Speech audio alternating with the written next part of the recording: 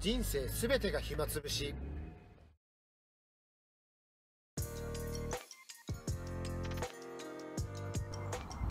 はい、ワッキルです。本日はノースフェスアンタークティカパーカーをご紹介したいと思います。はじめに一つ申し上げておきます。日常使いでは過剰です。東京ではいらないと思います。という出だしからスタートなんですけど、まあ、買ってみた感想というか、もう1年、これ2021年モデルになります。で、その時もですね、大人気ということで、サイズがあまりないというふうに言われて、まあ、一番大きい XL を購入しました。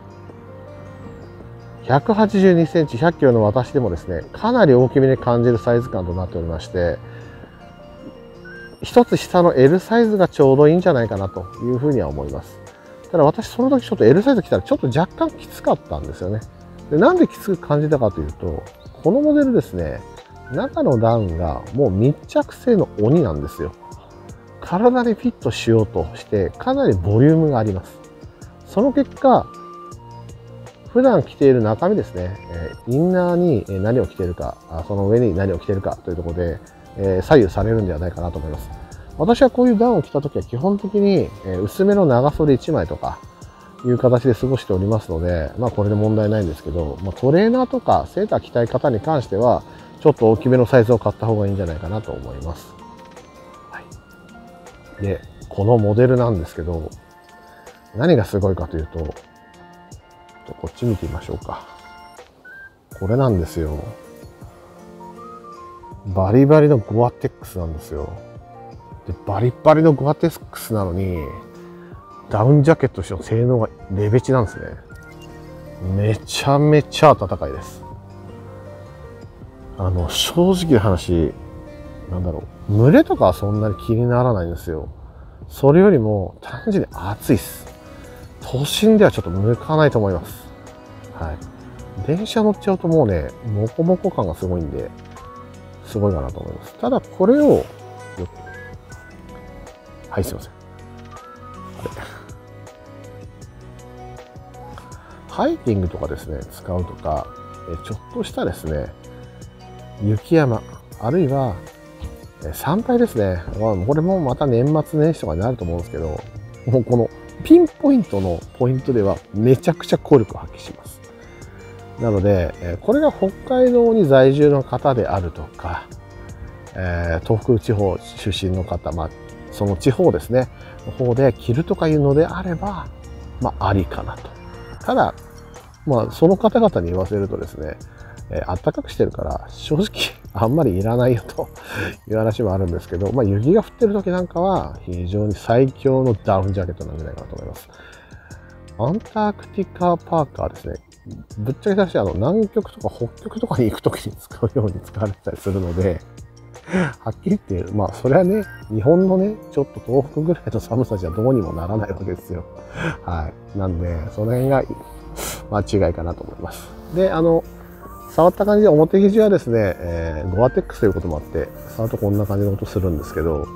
あの、マウンテンダウンジャケットはやっぱ近いですかね、えーと思います。で、中の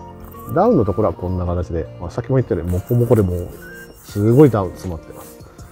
なんですけど、やっぱりこう、中はどうしてもですね、ちょっと今見えるかわかんないですけど、ちょっとダウン今出てますけど、こういう裁縫なんで、どうしてもダウンが出てきてしまうと。ただ、圧着と違ってですね、えすぐさまダメになるところは基本的にありませんので、圧着はやっぱり10年ぐらい経つとやっぱり劣化してくるって話なんで、もうこれ10年切れるんじゃないかなと個人的には思ってます。で、あとまた、切るタイミングね、あの、先ほど言ったんですけど、あんまないので、これまた少しもう長くという形で、えー着てるんじゃないかなというふうに思ってます。ね、もう、すごいですよ、こんなね。アンタークティカ、エクスペンディション。ね、とんでもないですよ、これ。で、ポケットがもう無数にあります。胸ポケに1個。ね、で、ここで脇のとこに1個。ここにもポケットが1個。右側にもポケット。そしてポケット。あ、ちょっとババグり散らかしますね。ちょっと待ってくださいね。はい。左側が胸ポケが1つ。通常のポケットが1つ。まあ、しかもこれあの、ヒップベルト対応なので、えー干渉しないようになってます。で、下にポケット。これはタウンユースの時で大体これを使ってるかなと思います。ま、あ、ただこのフラップがちょっと邪魔かなって思ってるんですけど、まあ、この中でさらにジッパーがありますという形ですね、えー、基本的にフラップありつつジッパーありつつっていうのが全部基本ですで防水、えー、仕様ではあるんですけどもこのフラップがあるおかげなんだと思うんですが基本的には止水ジンバになってません。はい、なので通常のジッパーです。でこれもいい点で、えー、まあ、持ってる人分かると思うんですけど水沢ダウンとかのストーム私持ってるんですけど止水ジッパーってものすごいあの汚れやすいんですよ。あのよく触るとこであるしそのジッパーの上げ下ろしをしてるとちょっとへたってきやすいところなんですね。でミサーダンも私何回かもう修理出してるんですけどその時に言われてるのは大体止水ジッパーのところがちょっと汚くなってそれをどうに直すとかいうところがありました。なんですけどこういうモデルに関しては基本的に汚れないですよね、目立たないですよね、うん。まあ、ちょっと生地感としてねちょっと当たったりするとすぐ白くなっちゃうというのはあるんですけど、まあ、これ黒の宿命なんでしょうがないかなと思うんですがこういうね一つ一つのところに、えそういうこだわりが見えているという次第です、はい、それのところのベルクロに関してもこんな形ですね。太いですよね。はい。で中はこういう形ですね、まあ、ちょっとここがね毛玉になりやすいというところがあるんですけどもこれも暖かさのトレードオフというところになってます。左もこんな感じですと、はい、内側のポケットっていうところなんですけどまあここ1個ですね。ここ。これは縦にこしまという形です。内側どんな感じかというと普通にこのこのこの生地と同じ感じですね、えになってます。こっちもね。こっちはもうそうです表の生地っぽい感じの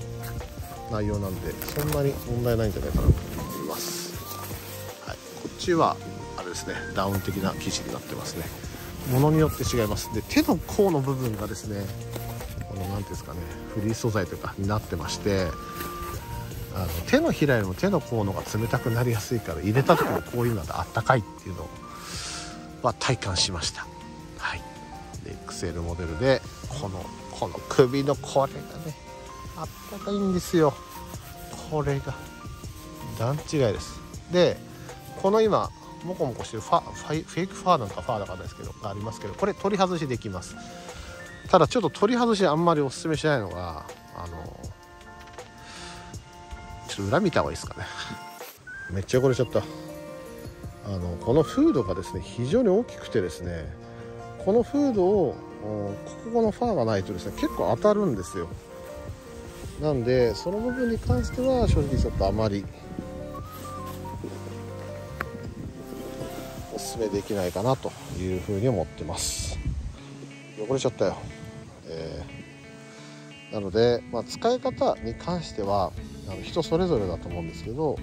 実は使い方って一つしかないんじゃないって感じがするモデルとなっています。ただまあシルエットがかっこいいんであと雨が風強いのと雪山とか行った時に、えー、まあ雪山に行ってスノボとかしないって何っていうのはなるんですけど、まあ、あとキャンプも正直使えないと思いますね。ゴアテックスなんで穴開いちゃうと思います、で、まあ、使い道ってどこでどうやってってなるんですけど本当に雪山歩行する人とか、えー、長い時間外でですね、まあ、ビラ配ったりとかしてるようなイベント会場のバイトがあって外で待機してるだけいけないみたいな人は、まあ、あんまり歩かないタイプのやつですねに関してはこのモデル非常におすすめなんじゃないかなと思います。はい、ということで本日はノースフェイスアンタークティカパーカー2021モデルをご紹介しました。2022モデルもきっと良くなってると思いますんで、えー、ぜひチェックしてみてください。ワンダフルキリングタイムではこのようなアウトドア商品であるとかガジェット乗り物を中心にお送りして皆さんの人生の暇時間を全て潰していきたいと考えております。よければチャンネル登録といいね評価他の動画を見ていただければ幸いです、はい、それではまた。バイバイ。バイバイ。高いけどね。